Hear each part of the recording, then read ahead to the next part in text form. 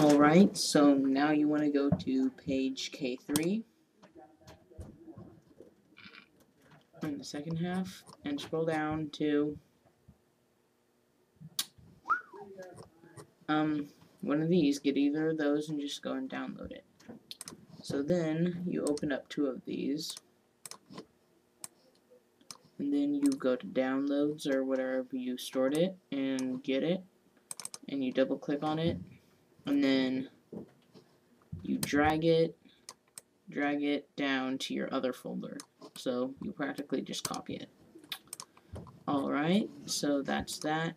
So now what you want to do is that you want to get media from files and folders. Just go and take either of these that you'd like. And then double click on it.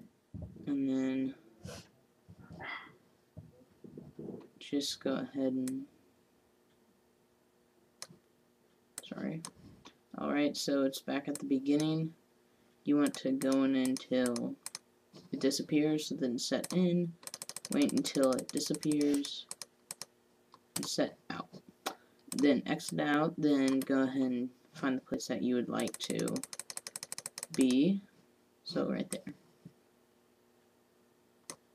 And right there and then go ahead and just scroll up some. Let's just go right there edit effect show all keying chroma key apply. And just go and edit effects. Um get a bit more similar.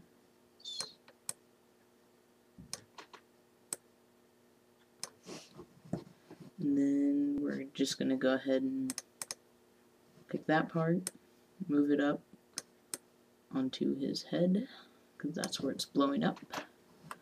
And then go and just scroll back a little bit. See how that looks.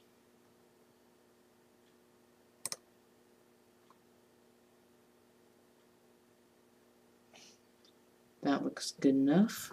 So then what you want to do is you want to get some sound effects. I get mine from soundjay.com soundbible.com and soundfxnow.com. So you want to find some grenade sound effect. Let's just get it from here. So grenade.